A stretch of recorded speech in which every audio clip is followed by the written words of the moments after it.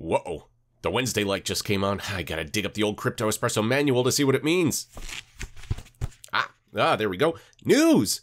That's right, I'm your host Andrew, and this is Crypto Espresso, your teeny tiny daily shot of caffeinated crypto headlines. Please keep all arms, legs, and uh, whatever other appendages you have inside of this YouTube video. First up, Dogecoin was upgraded to a full ecosystem on Tuesday with the launch of Dogechain, a layer 2 solution for Dogecoin themed DeFi and NFT. Even though Dogecoin is not built or endorsed by the official Dogecoin founders, traders aped and have bid Doge back into the top 10 by market cap in crypto. Crypto Twitter also seemed to appreciate the launch. The new guidelines about master accounts from the Federal Reserve could see crypto banks like Custodia and Kraken open accounts with the Fed. This would make them almost equal to traditional financial institutions and allow crypto banks to serve crypto and fiat clients. The new Fed guidelines will set up a tiered framework with crypto banks likely to fall into Tier 3. Have you ever bought crypto on impulse and sold it at a loss only hours later? Well, know that it happens to the best of us. According to a Financial Times source, this happened to Celsius CEO Alex Mashinsky, who reportedly executed trades with Celsius's Bitcoin holdings and,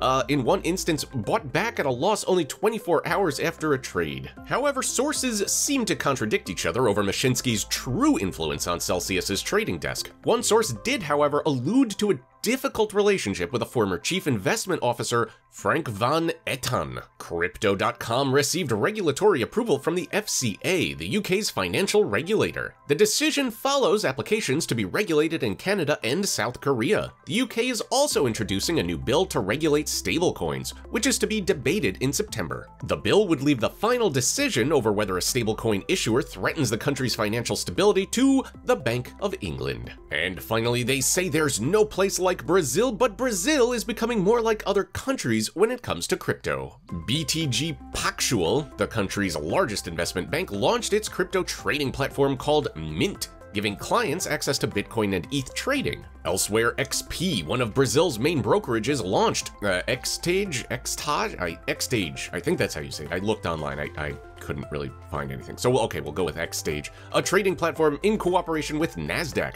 With Mercado Pago also planning to dive into crypto soon, Brazilias will have their pick. And you, dear viewer, can have your pick of either liking this video, subscribing to our YouTube channel, or clicking on that little bell icon to get buzzed whenever a new Crypto Espresso video goes live. I'm just kidding, you don't have to pick, you can do all three. Your biggest choice, though, is deciding what to write in those comments below. If you feel compelled to give us some feedback, do it, because I read those comments, the good, the bad, and the spam. And speaking of spam, that's Alex's favorite meal. Yes, ask Alex in the description below if you have any questions about our headlines or crypto in general. Alex is also a great resource for all things Web3 and the metaverse, where it's just like the real world, just more meta. Anyway, again, I've been your host, Andrew. These have been your headlines, and we'll see all of your beautiful faces tomorrow.